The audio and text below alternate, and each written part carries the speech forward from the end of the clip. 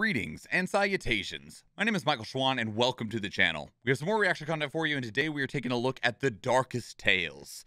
And if this little title screen doesn't catch your attention at least a little bit, I, I'm sorry, I can't help you because there is a adorable little teddy bear that is holding two halves of a pair of scissors and those two halves of the pair of scissors are imbued with magical arcane energy that have turned them into a couple of bastard swords.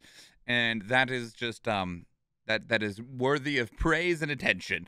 Uh, but in terms of what the Darkest Tales is, this definitely looks like a game that is heavily inspired, inspired, inspired by Hollow Knight in terms of it's kind of like an action platformer game, a Metroidvania style approach. Uh, and the general concept is, at least reading the Steam page, is that the, the, the it's kind of like a Brothers Grimm scenario. The uh, the the fairy tales have all gone dark, and the hero is a teddy bear. Uh, so, with that said, we'll start back to its initial reveal back in September of 2020 and see where it journeys from then to today. So, The Darkest Tales. Once upon a time,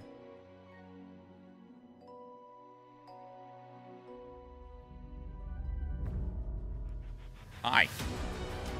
In a world of dark tales Oh Lord. Be brave. Venture through.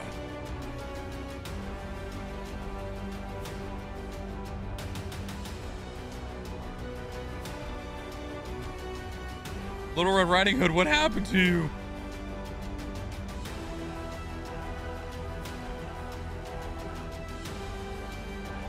I'm pretty sure that bow was firing needles, and I love that.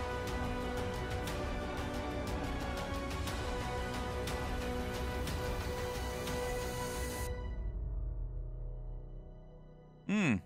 Lovely. Looks like a great time.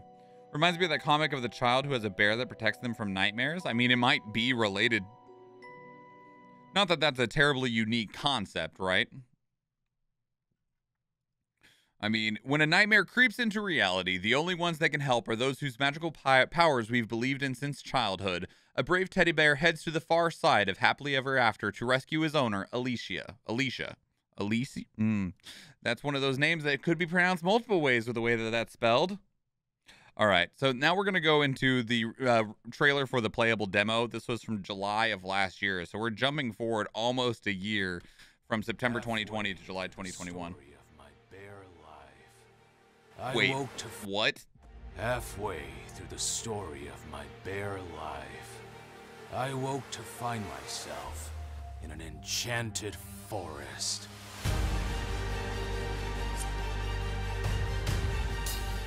Reeks of death here. What the?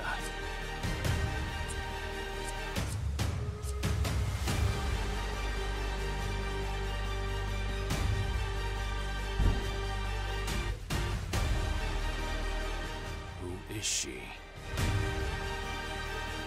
What is she doing? Whoa! Whoa! It looks like just such a lovable, happy, fun time, right? That bear is really tiny. Yep, sure is. You're a teddy bear. Once upon a time, there was an old teddy bear who wandered the world of childhood dreams.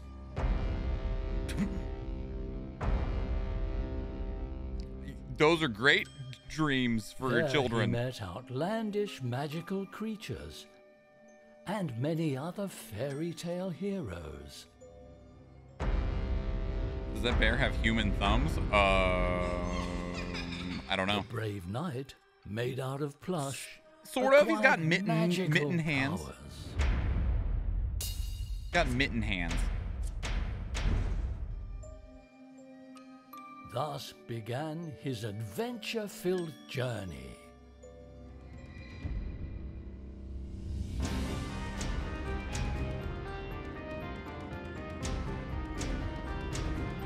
Grappling hook.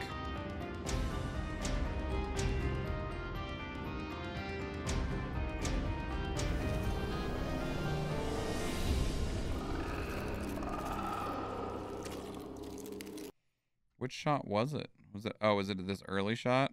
This one, I'm guessing, where he's kind of stepping through.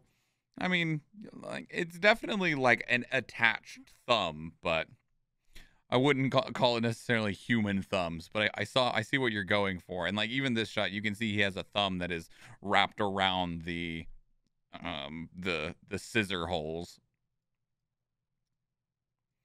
All right, now we're gonna move all the way forward into September of this year, 2022.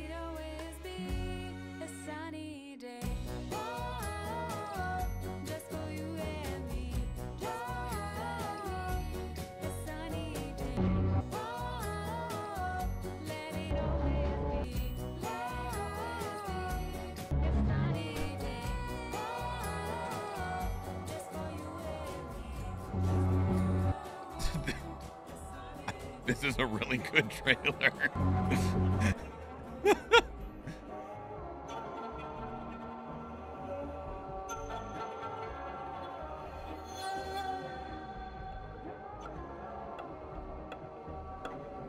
I love and hate it. Yes. All right. Well, that was a, that was actually a really good trailer. I just love the general vibe and tone of it a lot. Like it was, they did a really good job with the presentation of that. So th- that's the Darkest Tales. It comes out October 13th. Um, it, like I said, it definitely feels heavily inspired by games like Hollow Knight. Uh, and if that looks, if that's a type and style of game that you're interested in, I'm betting it's a smaller experience than Hollow Knight. It's got a story attached to it in terms of what you're progressing through in time, in terms of trying to get through these levels to find your owner and save them from the darkest tales.